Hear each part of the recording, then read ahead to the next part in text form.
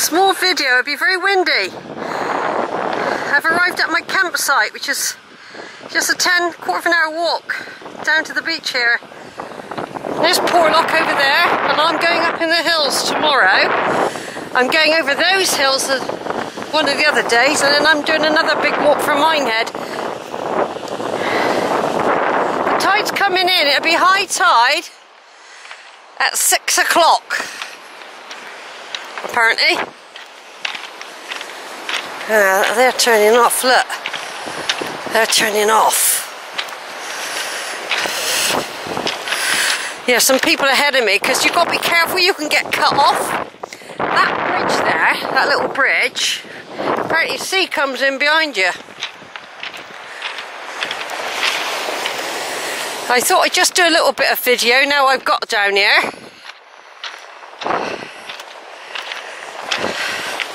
I'm going to try and get out here another day for the uh, sunset.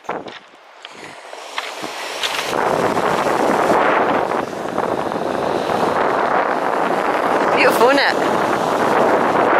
It'll be very windy.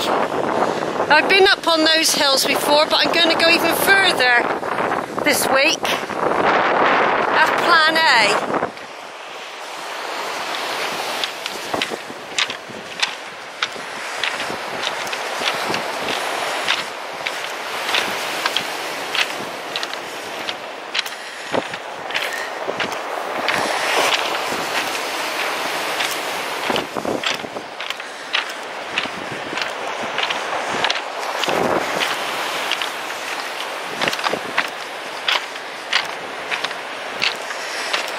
There's Bossington Hill. I'll also be coming down that in a couple of days' time.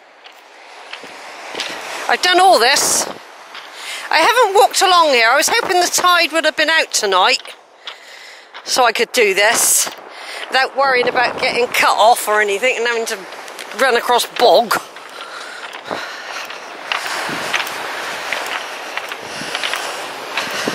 There is a path somewhere. I'm going to join it in a minute, but I just thought I'd do a bit more of this. Over now. Right, it's not so windy now. I've come over the other side. But what's scary is that sea is rolling. And because you can't hear it, what I'm half expecting to see a huge wave come over the top in a minute.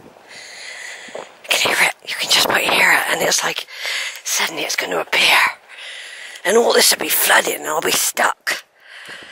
It is high tide season.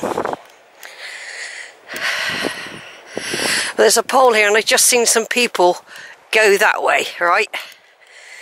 I've just seen some people go that way, but I might have to leave it to another night to come out again and get down where there's a building on the beach, an old stone building. So there's Bossington Hill, look and uh, oh, I'll probably just be sensible and follow the rules. I'll go back up again one more time to have a look before I go down there though.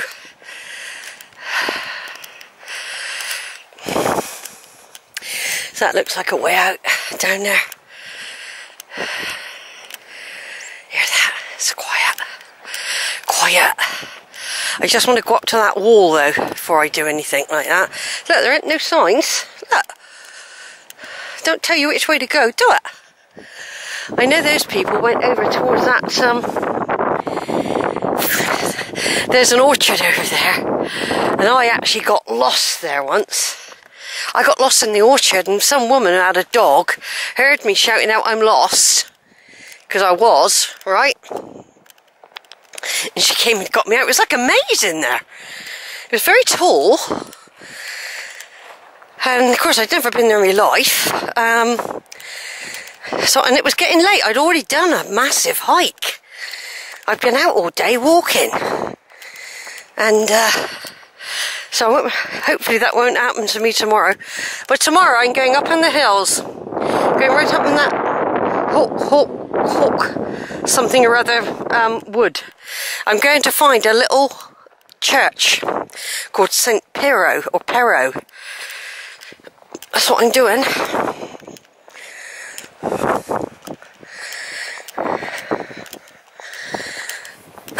six o'clock's high tide, so I've still got a bit of time actually.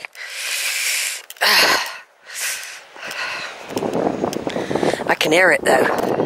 I can hear it.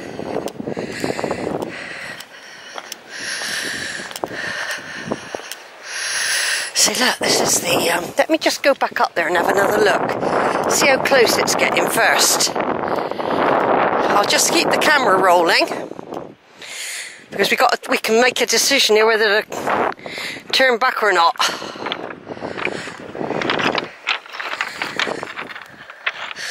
Because I can see horses up there. I don't fancy walking through horses.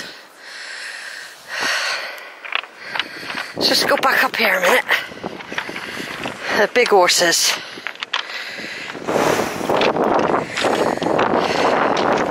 It'll be windy again. Expect these pebbles get thrown about by the tide. Yeah, so I was down there a minute ago. And it is coming in, it's starting to come up the bank. It's starting to come up the bank down there, see? There's horses, too many horses for me to go through that field up there.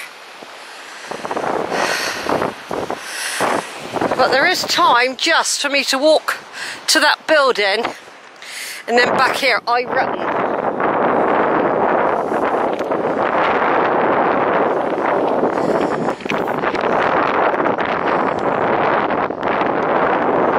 Over now.